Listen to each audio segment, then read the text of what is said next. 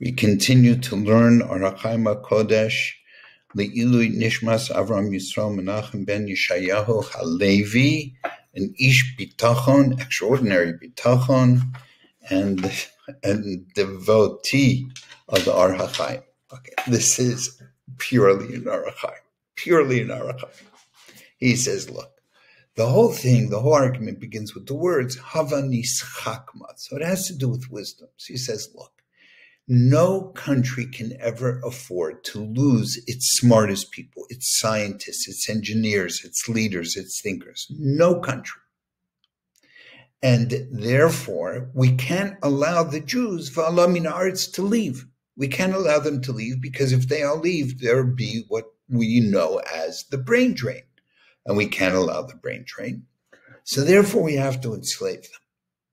Now, I got to ask you something if the slavery is the way it's described, the way we are have been trained to learn it, that they work these hours and they have no time to think, they have no. So how does it, how does help you maintain the brain drain? How does that help prevent the brain drain? Right? You're not giving them a chance to think. They don't think. What can they do?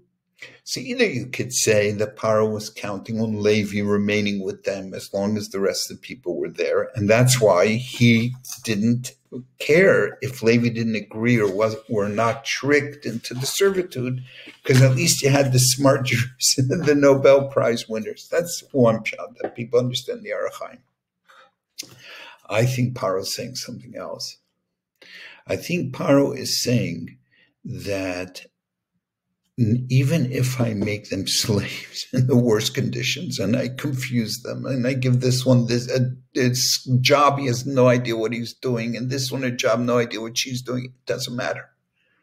They will figure out a way to do it and they will figure out a way to do it better and they will help the economy and they will apply their brains to whatever they do. Hava Nischakma means, according to Or HaChaim, let's find a way to use their brains to continue to build our economy and our technology so that we can continue to be the greatest nation on the face of the earth. That's how he learns Hava Nischakma. Let's figure out a way to use their wisdom against them.